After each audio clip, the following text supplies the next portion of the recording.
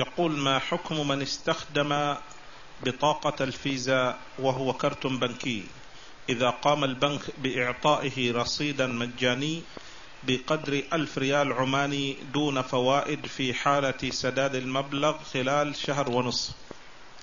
لا يجوز هذا لأنه ماخذين أن الزيادة عند عند إعطائك البطاقة أخذوا منك فلوس ما يعطونك إياها مجاني. تدفع لهم فلوس عند حصولك على البطاقة. هذه الفلوس هي الزيادة التي يريدونها فهي ربا. نعم.